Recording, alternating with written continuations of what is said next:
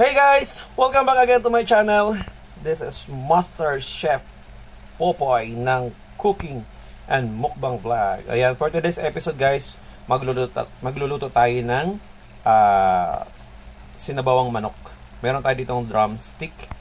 Alright, so ang gagawin muna natin guys ay uh, pakakatasin muna natin siya dito sa ating uh, sibuyas at saka kamatis. Alright, so ini inilaliman natin ng sibuyas at saka kamatis.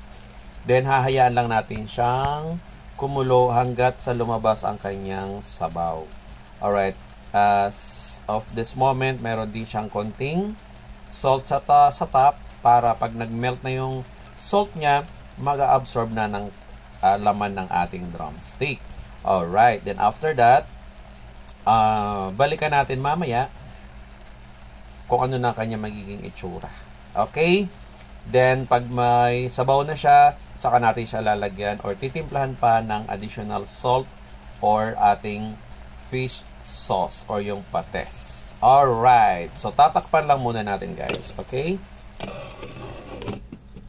Alright. Ayan. Takpan natin, then balikan natin mamaya. A few moments later.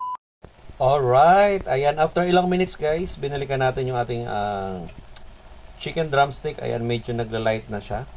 Medyo nag, uh, nawawala-wala nawawala-wala na yung kanyang uh, dugo sa karne ng manok. Okay? Pero hindi pa to, oh, hindi pa to, ano, ah, kulang pa to ng ano, kulang pa to ng pagka, ano niya, um, steam niya. Alright? So, balikan pa natin after ilang minutes. Mukhang masarap to guys. Okay? Ayan, meron na siyang konting sabaw-sabaw kung mapapansin niyo. Alright. Alright! Ayan. Oh, tingnan nyo guys, marami na siyang sabaw ngayon. O, oh, diba? Ngayon, kayo, kayo na yung mag-a-adjust guys. Kung gusto nyo ng maraming sabaw, dagdagan nyo po ng tubig. Wala namang problema. Kung gusto nyo po na okay yung ganyan lang para mas andiyan talaga yung lasa, wala din pong problema. Okay? So, ang gagawin nyo po ngayon ay uh, dagdagan nyo na lang po ng, ano, ng uh, asin or kung meron kayong patis, yun na lamang po.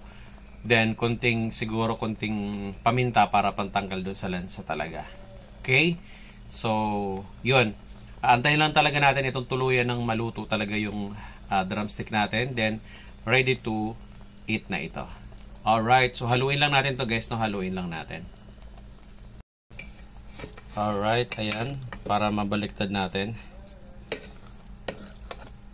Oy, sorry, sorry sa ano, sa usok. Alright. So, kung mapapansin nyo guys, ayan, oh, nagmamantika na siya. Meaning, yung langis na yan, yung mantika na yan, ay galing talaga sa katawan, ay sa ano ng manok. Okay? Alright. So, balikan natin maya-maya. Tapos, timplahan na natin. Kung okay na alat, ready to eat na. Kung hindi pa, dagdagan pa natin ng alat. Alright! A few moments later. Alright! Ayan. So, luto na yung ano natin. Luto na yung chicken natin. Tikman na natin yung ang alat kung okay lang. Ah, perfect. Mmm, harap. Yummy. So, okay na yung alat niya guys. Uh, no need to add na ng, ng salt. Ah, medyo manghang-anghang because of the uh, paminta. Wow, sarap. So, ready to eat na ito guys. Alright. Ayan. Once again, this is Master Chef uh, Popoy of uh, Cooking and Mukbang Vlog. Ayan. Thank you so much guys. Maraming maraming salamat po sa pagsama niyo sa ating episode for today. And happy cooking and happy eating. God bless everyone. Keep safe, everyone. Bye. See you on uh, my next uh, episode. Thank you.